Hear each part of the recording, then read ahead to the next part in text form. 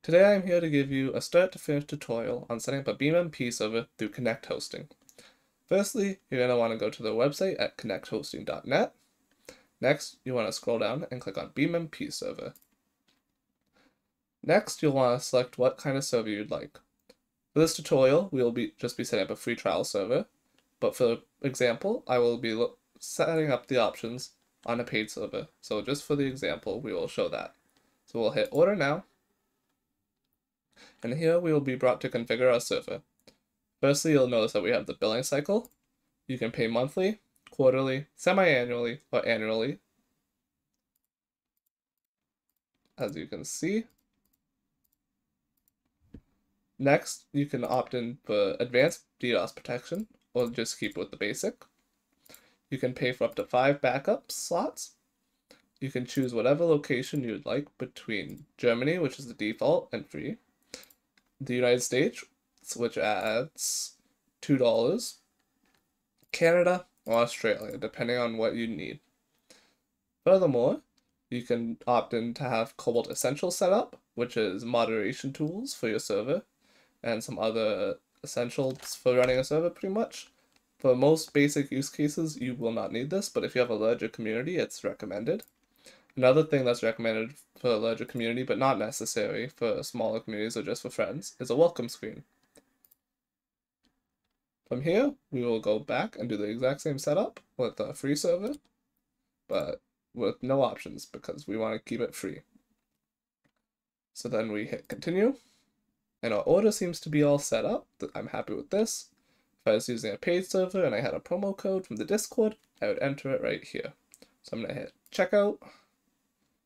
And so now you set up your account. So you'll have to fill out your personal information and billing information in order to properly be billed. So I'm going to do that real quick. Once you have filled out all your information, you can scroll down and you'll create your account password. So I'm just going to use suggest strong password as that is going to be the best way to secure a password. So let me do that.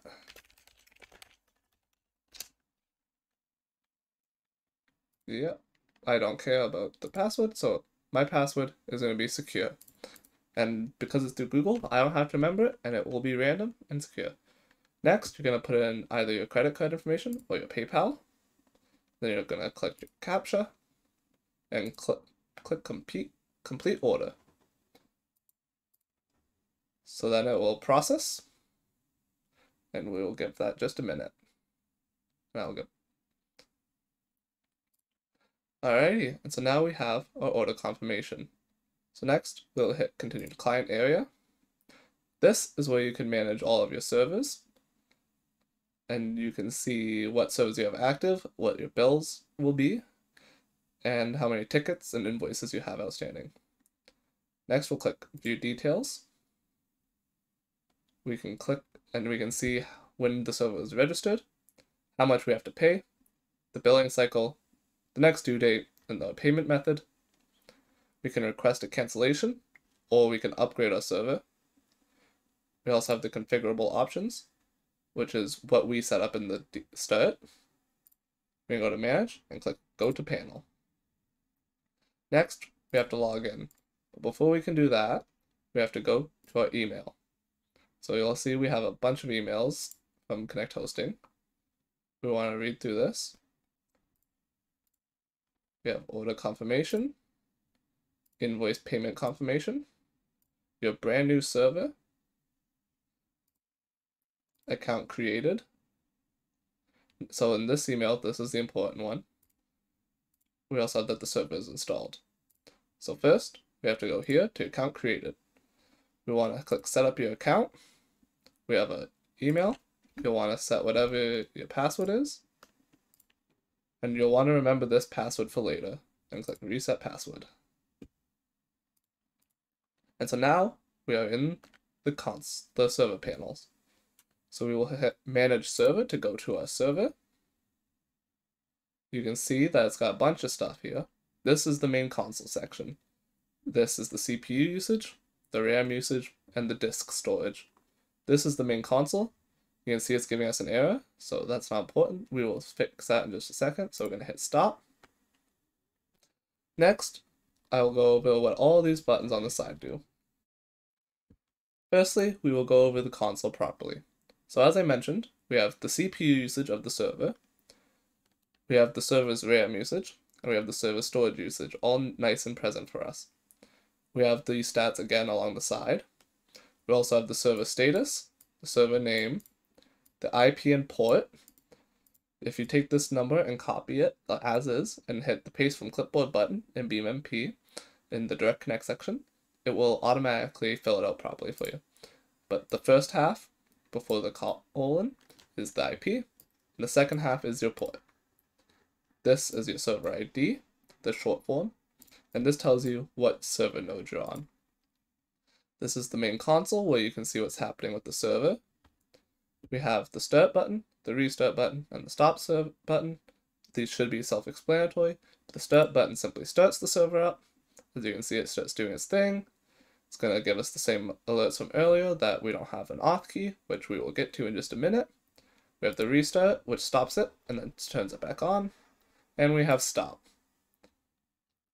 Next, we have the file manager, which is where you can upload your mods, but we will get to that further in just a minute. We have databases, which is not relevant for BeamMP. Schedules is where you can create schedules to automatically restart your server, which we can do cover in a later tutorial. We have users, which is people, other people who can control your server. Backups are saved backups of your server. The network is not necessary for our purposes with BeamMP. The startup is where most of the action will be happening for this tutorial. This is how you set the basics of your server up. The settings will also be helpful later. This is where you can find SFTP details, which again will be useful when we get to uploading mods to the server. Here you can change the server name, so this will be our tutorial server, and we'll hit save on that.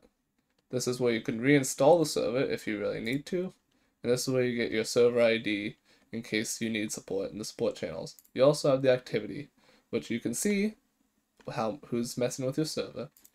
And so now to get the server properly running. First, we go to startup, and we'll see we have the server name. This is the server name that shows up in-game. So this will be a connect hosting